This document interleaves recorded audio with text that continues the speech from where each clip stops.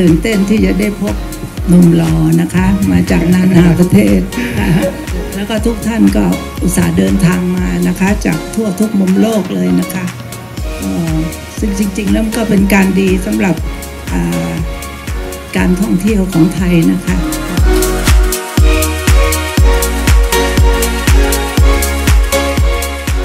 อดตื่นเต้นไม่ได้นะคะ หลังจากที่หยุด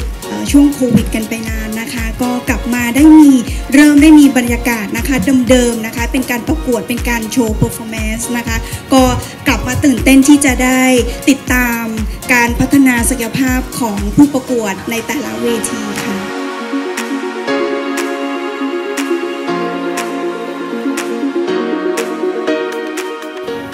ครั้งแรกที่พี่ย่าได้อ่า เรียนเชิญให้สนับสนุนเวทีนะคะ เดียไม่ลังเลเลย เดียอยากจะเข้ามามีส่วนร่วมในการช่วยเหลือนะคะ เพราะว่าพอทราบว่ามีการประกวดระดับประเทศเนี่ยก็อยากจะให้ประเทศไทยเนี่ยมีส่วนที่จะต้องชูประเทศตัวเอง และนำพาเอาศักยภาพของประเทศไทยเนี่ยโชว์ให้กับชาวโลกด้วย และนำพาเอาชาวต่างชาติเนี่ยค่ะเข้ามามีกิจกรรมส่วนร่วมกับประเทศไทยนะคะ